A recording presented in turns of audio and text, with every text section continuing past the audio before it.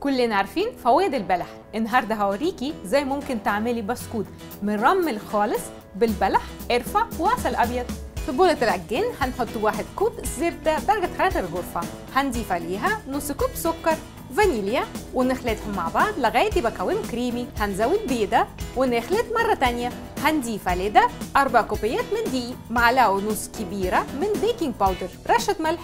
هنزود عليهم نص كوب من لبن ونخلط لغاية العجينة تتجانس.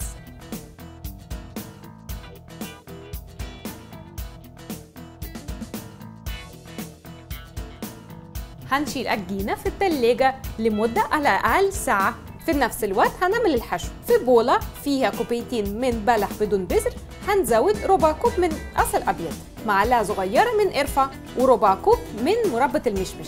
هنسخن مكونات الحشو في ميكروويف. هنحط المكونات في الكبة ونضربهم لغاية يبقى قوام كريمي.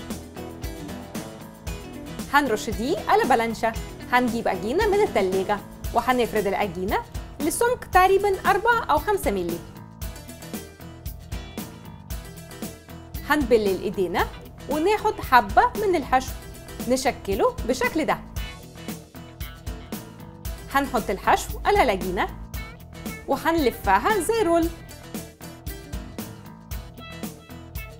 بعد كده هنساعد العجينة هنلفها مرة كمان. هنبتدي نشكل البسكوت.